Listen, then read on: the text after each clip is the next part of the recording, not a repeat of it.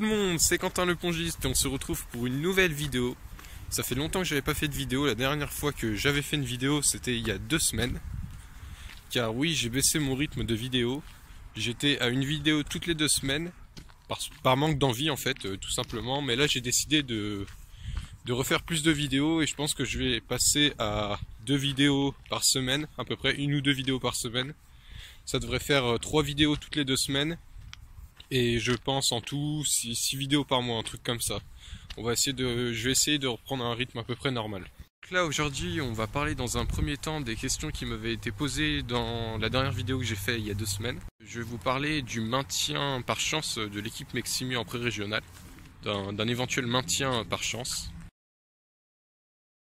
Tout d'abord, j'ai une question de Baptiste, Baptiste qui est dans mon club, euh, dans mon club de tennis de table de Meximieux, qui m'a demandé quand il serait présenté.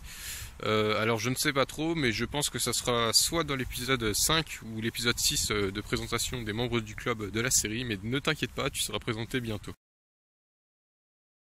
J'ai une question de Castmac qui m'a demandé quel était mon objectif euh, en vue de ma prochaine vidéo en termes de classement. Alors j'ai pas réellement d'objectif, j'ai plutôt des objectifs sur des plus longs termes, c'est-à-dire en fin de phase euh, en fin de première phase ou en fin de seconde phase. Par exemple, en fin de première phase, actuellement, bah, j'ai un début de phase compliqué. J'espère malgré tout essayer de passer 10. Parce que là, je dois, avoir, je dois être à peu près vers mon classement euh, officiel que j'ai sur le papier, c'est-à-dire 980 points pour l'instant en mensuel. Euh, donc là, je vais essayer de, de, mettre un coup de boost et pourquoi pas, malgré la dérive qui, je rappelle, est de moins 8,5 points pour tous les pongistes à la fin de la phase, je vais essayer pourquoi pas euh, de monter 10, peut-être au-dessus de 1000 points. Ça va être compliqué, mais je vais essayer. Maintenant, en vue de la seconde phase, j'espère peut-être essayer d'être 11. Maintenant, on va rentrer dans le principal sujet de la vidéo, qui est notre maintien par chance en pré-régional pour donc notre équipe, notre équipe composée d'Emeric, moi, Christophe et Jérôme. On est tous classés 9 à peu près. Donc, on fait une phase complètement catastrophique. On s'est pris vraiment euh, des tôles à chaque compétition. On commence contre Amberieux, contre Amberieux, qui est une équipe pourtant prenable, qui était à peu près à notre niveau. On l'avait battu au titre euh, en départemental 1 qui nous avait valu notre montée en pré-régional. Là, on a perdu 13-5 ce coup-ci. Donc euh, vraiment une grosse défaite. Pourtant, on avait des classements à peu près similaires des deux côtés. Euh, donc je fais 3 durant cette compétition. Et l'autre équipe qui était prenable, c'est la dernière équipe qu'on a jouée. Malheureusement, on n'était que 3. Il y avait Emric euh, qui était absent pour des raisons personnelles que je ne citerai pas. Et donc euh, sur cette compétition, on a fait, enfin j'ai fait 3 de nouveau, j'ai fait deux mini perf à 10 et une victoire à 9 normale, mais on perd 13-5 au final, donc euh, là encore lourde défaite. Donc là c'était nos deux plus petites défaites hein, pour ordre d'idée. Par exemple, on a affronté les leaders de la poule qui étaient Pont de Vaux, on s'est pris un 18-0 monumental. Je crois qu'on a mis un truc comme 6-7 dans toute la compétition. J'ai dû en mettre 3. Euh, enfin, c'était vraiment une catastrophe. Jérôme en a mis 2, il me semble. Il a fait une belle contre un 13. Et Embrick a dû en mettre 1 et Christophe 0. Enfin, une véritable catastrophe. Mais malgré notre huitième et dernière place, on va peut-être se maintenir. Alors euh, ça s'explique euh, par le fait qu'il y a en tout 8 équipes par poule. Alors nous, il n'y a plus qu'une poule en pré-régional parce que lors de la dernière euh, phase, la phase 2 de la saison 2017-2018, il y avait eu énormément de descentes suite à la suppression de la R4. La R4 qui a été supprimée euh, parce que euh, la région Rhône-Alpes-Auvergne s'est rassemblée et l'Auvergne ne voulait pas de R4 car, ils n'en avaient pas tout simplement. Il y a moins de licenciés en Auvergne, ça s'explique aussi par ça.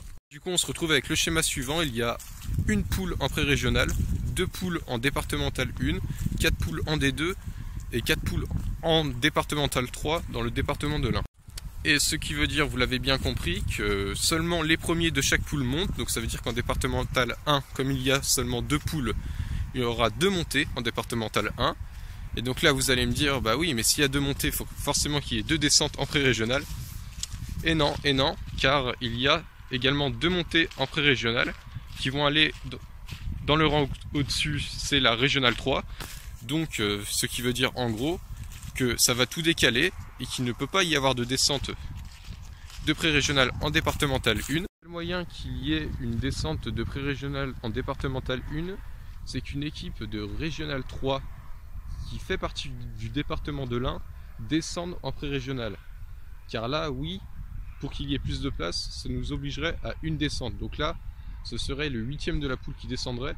Et là, dans cette situation, ce serait nous. Mais a priori, j'ai regardé les classements de chaque poule et rien ne montre pour le moment qu'il y ait une équipe euh, du département de l'Ain qui se trouve en régional 3 qui redescende euh, dans le palier en dessous. Donc euh, oui, ça se, passe, ça se passe comme ça, car par exemple, si c'est une équipe d'un autre département qui descend, cette équipe ne va pas se retrouver dans le département de l'Ain. Donc ça n'aura pas d'influence sur notre poule.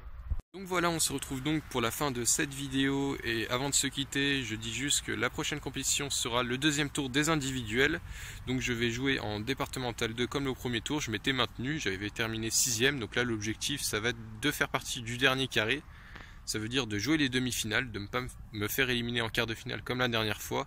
Car oui, j'avais fait des individus très compliqués, j'avais perdu entre 20 et 25 points, car les individuels sont coef 1,25 en senior, donc là, l'objectif, ça va de faire, euh, l'inverse, hein, tout simplement, de gagner à peu près 20-25 points et d'éviter d'en perdre, car ça fait très mal, car je pars euh, cinquième de série, donc euh, dès que je perds des matchs, ça fait mal, dès que j'en gagne, ça fait pas beaucoup.